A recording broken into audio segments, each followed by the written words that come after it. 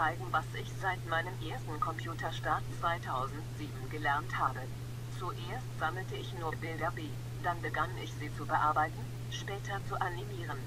Jetzt mache ich tolle Fotomontagen und digitale Kunst. Lasst euch überraschen und nun viel Spaß.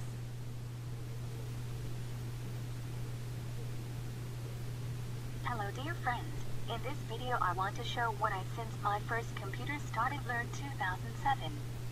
First I collected only images B, then I started to edit it, to animate later. Now I'm doing great photo montages and digital art let yourself be surprised and now have fun.